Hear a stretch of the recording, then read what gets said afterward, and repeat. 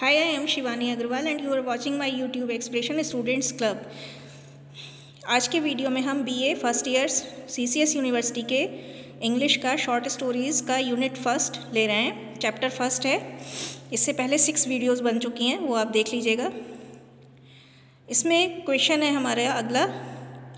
Describe the social status of the central character of the story a horse and two goats यानी a horse and two goats के central character यानी केंद्रीय पात्र, यानी मुख्य पात्र का सोशल स्टेटस सामाजिक स्तर के बारे में डिस्क्राइब कीजिए। Muni the central character of the story a horse and two goats is very poor Muni, जो कि a horse and two goats story का केंद्रीय पात्र है, वो बहुत गरीब है। He does not have proper meals to have उसके पास प्रॉपर उचित मील्स भी नहीं है, भोजन भी नहीं है लेने के लिए। तो Muni the central character of the story a horse and two goats is very poor he does not have proper meals to have Muni the central character of the story a horse and two goats is very poor he does not have proper meals to have अगला question है what is the possessions that Muni have with him क्या क्या पजेजन्स हैं? क्या क्या उसकी मतलब क्या क्या चीज़ें हैं जो मुनी के पास हैं? मुनी पजेजेज ओनली मुनि के पास, मुनि केवल रखता है, क्या रखता है? मुनि रखता है केवल to gods and A hut of thatch and mud तो एक थैच और मड की, यानी कि घास, फूस और मिट्टी की झोपड़ी है और दो गोड्स हैं। मुनि के पास जो पजेजन है, मुनि possess only a hut of thatch and mud a hut of thatch and mud हट है थैच और मड की और दूसरी उसके पास टू गोड्स हैं। अगला क्वेश्चन है how many goats did Muni have earlier Muni के पास पहले अर्लियर माने पहले कितनी गोड्स थी? Earlier Muni used to have forty goats यहाँ टू नहीं आएगा, ये फोर्टी है. Earlier Muni used to have forty goats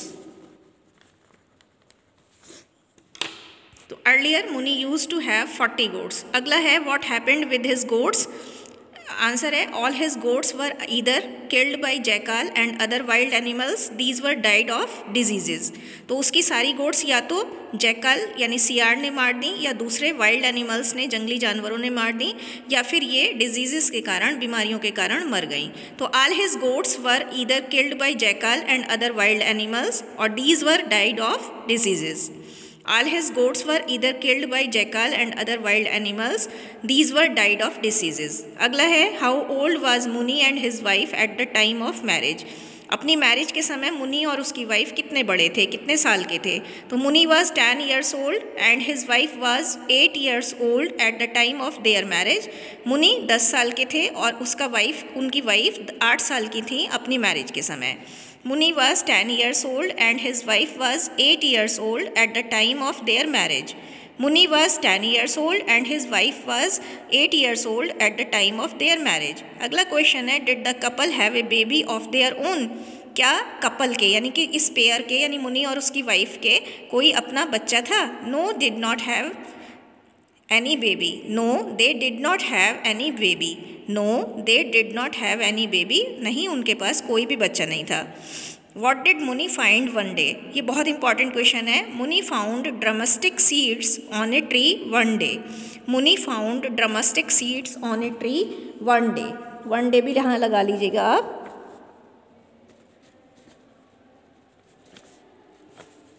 तो Muni found drumstick seeds on a tree one day Muni को एक दिन ड्रमस्टिक सीड्स मिले, यानी ग्वार की फलियाँ मिली ऑन इस ट्री पेड़ पर। Where did Muni find drumstick seeds ये भी इंपॉर्टेंट क्वेश्चन है। मुनि को ड्रामस्टिक सीड्स कहाँ से मिली? तो Muni found drumstick seeds on a tree near his house Muni को ड्रामस्टिक सीड्स अपने घर के पास एक पेड़ से मिली। Muni found drumstick seeds on a tree near his house Muni को ड्रामस्टिक सीड्स अपने घर के पास एक पेड़ से मिली। अगला क्वेश्चन है what was Muni craving to eat Muni की क्या खाने की क्रेविंग मैंने इच्छा हो रही थी? तो Muni was craving to eat drum drumstick seeds with sauce Muni की ड्रमस्टिक सीड्स सॉस के साथ, यानी चटनी के साथ खाने की इच्छा थी। Muni was craving to eat drumstick seeds with sauce Muni was drumstick Muni was craving to eat drumstick seeds with sauce अगला क्वेश्चन है what ingredients were required to prepare the special dish special dish को बनाने के लिए कौन कौन से ingredients यानी सामग्री की ज़रूरत थी?